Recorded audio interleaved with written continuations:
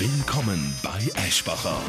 Meine Damen und Herren, begrüßen Sie Ihren Gastgeber. Grüß euch miteinander.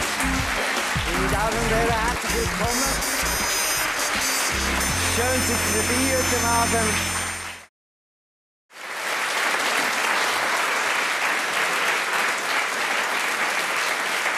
Spannende Geschichte.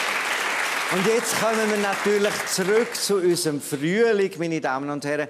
Wenn ähm, jetzt langsam so die Sonne fährt an verschiedenen, dann entsteht natürlich bei Mengem und Mengeren daheim der Lust, dass man doch endlich auf seinen Fenstersims, auf dem Balkon oder im Vorgärtchen ein bisschen pflanzen Zum Beispiel sein eigenes Salat oder was auch immer da gerade einem könnte erfreuen und dass es fährt an verblühen. Aber nicht jeder hat den grünen Daumen. Und mein nächster Gast der sorgt dafür, dass man auch ohne grünen Daumen weiss, was man machen könnte. Zum Beispiel aus einem ausgeleierten Weinkistchen, meine Damen und Herren, oder aus irgendeinem Kübel oder vielleicht sogar einer Büchse, die leer umeinander steht und plötzlich da drinnen die eigenen Herdöpfel oder das Rüebli wächst. Also es ist Zeit, dass ich meinen Gärtnerschurz anlege und ein herzliches Willkommen sagen der Sabine Reber, der Grüntaume der Nation. Auch schon gelandet. Jawohl. Ihr habt ja schon einen wunderbaren Garten einrichten und jetzt, also so meine erste Frage dazu. Braucht es einen grünen Daumen zum Gärtnern? Meine ist eigentlich mehr dreckig als Ja, meine wird jetzt hoffentlich auch. Aber man kann es lernen. Ja, natürlich. Darum schreibt man ja Gartenbücher. Da kann man es auch nachlesen. Oder man kann es auch erklären. Man kann es wirklich lernen, ja. Ihr selber seid ja auch eine, die ähm, es gelernt hat, indem sie es gemacht hat. Ausprobieren ist eigentlich fast das Beste. Also wenn man so etwas Sömli hat, man muss es einfach halt...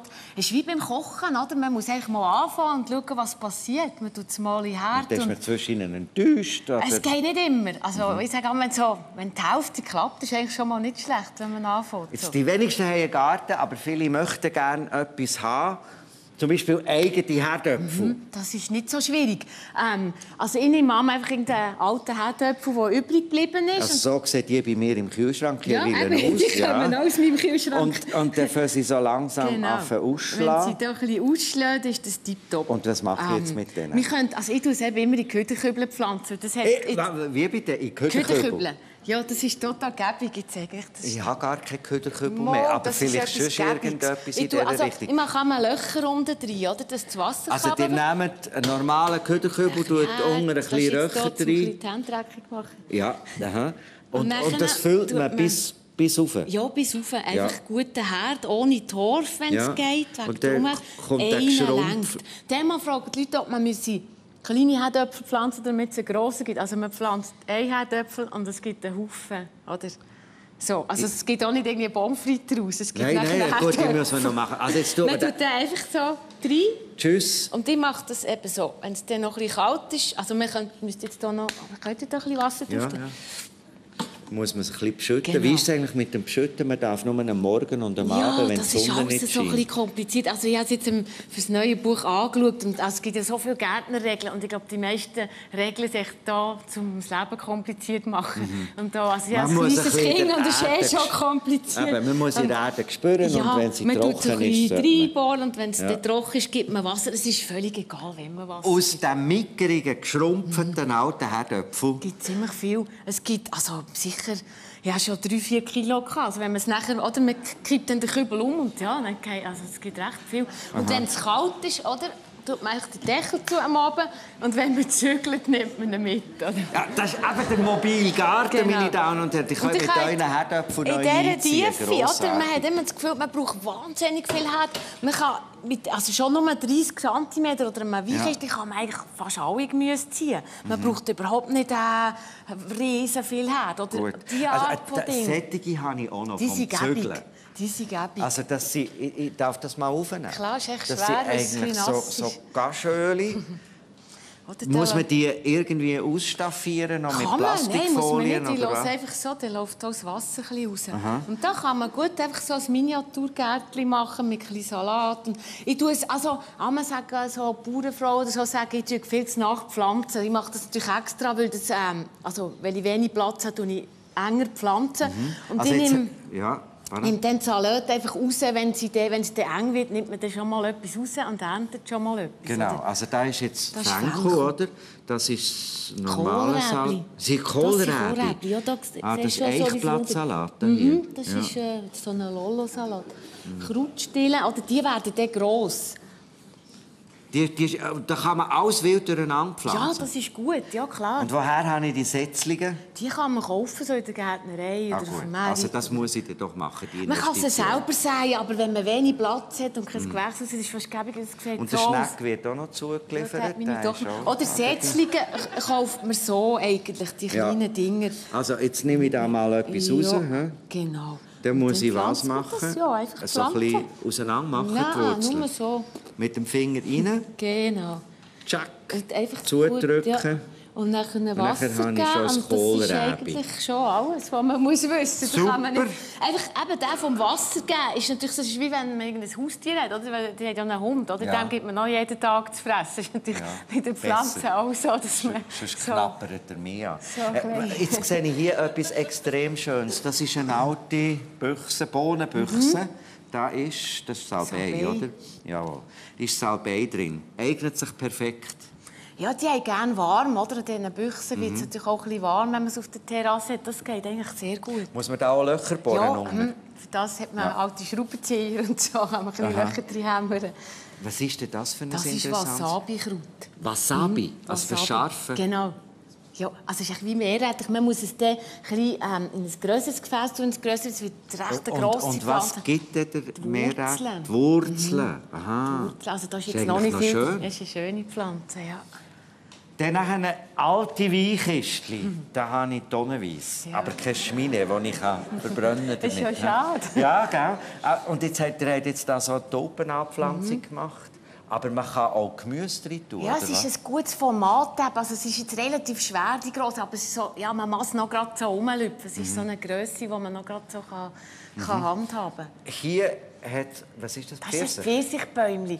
Und das sind so Jetzt habe ich neue- Schwein gehabt, jetzt Ja. habe ich einfach mal probiert. Es Ja, könnte das könnte auch Äpfel sein. Ja, Ja, ich, ich, genau. weiß- es ist vorne angeschrieben, ich habe das Schildchen weggenommen, aber Ja, die ich weiß es es, auch nicht ich immer. schätze Nein, die sind ganz cool. Das Ja, und da so eine- gibt es wirklich Pfirsich. Ja, ich habe einen. Also letztes Jahr bei mir haben wir etwa 20 Pfirsich gehabt, so, Mhm. so einem kleinen Bäumchen. Und da haben wir Erdbeere. Das sind Erdbeeren. Jawohl. Und Ich- kann man da noch mehr drin Ich würde, da ist jetzt noch zu wenig drin. Man Mhm. kann zum Beispiel, also Knoblauch ist immer noch gut, oder? Das ist auch so Das etwas, was die Leute aus wie Zwiebeln. Das ist Knoblauch. Oder der Spitz gegen Ufe. Also sonst auch immer, für die, die es nicht wissen, immer das Grüne auf, die Wurzeln runter. Oder bei denen, wenn man es verkehrt tut, ist es nicht so gut. Also jetzt kann ich da mal gehen. Und das gibt nachher... Das gibt Knoblauch. Das schlägt aus. Ja, klar. Wie weit aber muss ich damit? Ja, nicht zu weit, etwa so tief wie Zwiebeln gross. Aha, Und dann okay. können wir ja hier noch ein bisschen, Was ähm, könnte man denn da noch dazu tun? vielleicht ein bisschen Dill oder so. Dill. Und, und da haben wir Tomaten. Ja, das ist noch gut, jetzt das ist angeschrieben. Wachsen, Pelati genau, genau. in der Büchse. Ich tue immer das so in die Da- Damit, Tomatenbüchse. dass ich, dass ich im Fall, wenn ich nicht mehr weiter weiss, weiss, was ich da Ja, ernte. ich sage am Ende, damit der Setzling weiss, was er zu tun hat. Er Ja. soll so etwas genau, da machen, oder? Redet ihr eigentlich mit den Pflanzen? Ja, klar. Ja, Sag, ja. so, jetzt Ja, Gottfried eigentlich, Stutz, nein, nicht, wach. nein, ein bisschen freundlich. Schätzeli. Nein, so eben, ich mache ein bisschen Tomaten, bis so gut. Und das äh, ist Ja, erfolgreich. mal, das sind Lebewesen, da muss man auch lieb sein mit. Also den Dill, den tun wir jetzt da noch rein. jetzt noch. Und ähm, jetzt brauche ich aber ein Schüffeli, damit es das alles Platz hat. Die, die Mülltonnen Da hier, die kann man einem Nachbar auf den Garageplatz stellen. Das- ja, das da führt immer zu grosser Begeisterung ringsherum. Es kommt darauf an, wie schön man es bepflanzt. Oder wenn man, also ich habe schon viele andere Zeug angeschaut, wenn man es sehr schön bepflanzt und das blüht, dann macht haben die Leute meistens ja Freude daran. Also, also kann man noch ich viel bin verleiden. total angefixt und man kann aber auch in dem Sinn daheim mit Erbsli etwas Sachen ziehen. ja. Und das geht alles. Ja, klar. Also. Sollen wir ein bisschen Erbsli sein? Das ist eine knifflige Sache. Hat ihr einen Kugelschreiber? Ein Da Kugelschreiber, oh nein, habe ich keinen, ähm, aber einen schmalen Finger. Nein, das geht nicht mit dem Finger. Da muss man bei den Erbsli, oder? Vielleicht könnt ihr die schnell nehmen. Da mache ich immer so mit WC-Röllchen. Ah, das sind WC-Papier? Ja, weil die Okay. machen lange Wurzeln und die pflanzt man dann nachher so in den Garten. Also ihr müsst WC-Rollen sammeln, meine Damen und Herren. Dann könnt ihr Erbsli züchten und dann geht ihr mit dem Kugelschreiber dahinter und tut die Erbsli drei Und in diesem Sinn gibt es eine grüne Schweiz. Und dann muss man es beschütten. Ja, wieder Wasser Ja. und einfach ein bisschen auf einem Fenstersims tun, solange es draussen kalt Mhm. ist. Und Das ist eigentlich wirklich sehr einfach, oder? Ist es? Und vor allem kann man Ja. so das eigene Gemüse machen, wo man nicht irgendwie Rostfleisch drin hat oder so. Oder man weiss dann nicht, was Genau. man hat, wenn man es selber gesagt hat. Meine Damen und Herren, ich glaube, wir sind jetzt alle so auf dem äh, richtigen Pfad, für mit einem grünen Daumen können unsere eigenen Gemüse, Herdöpfel Mhm. und was auch immer zu pflanzen. Herzlichen Dank, Sabine Reber. Sie auch. Und, Viel ähm, Erfolg allen. es schmeckt viel besser. Das eigene Rüebli oder das Erbsli, das aus der Scheisse rauskommt.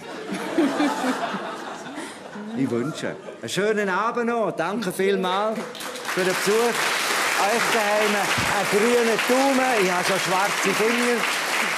Und ich hoffe, wir haben euch mit ein paar guten Nachrichten einen schönen Traum beschert. Heute Nacht das NZZ-Format ist jetzt auch bereit. Mit hoffentlich guten Nachrichten. Und wir sehen uns nächste Woche wieder. Gute Nacht zusammen. Komm, wir tun noch ein bisschen sein.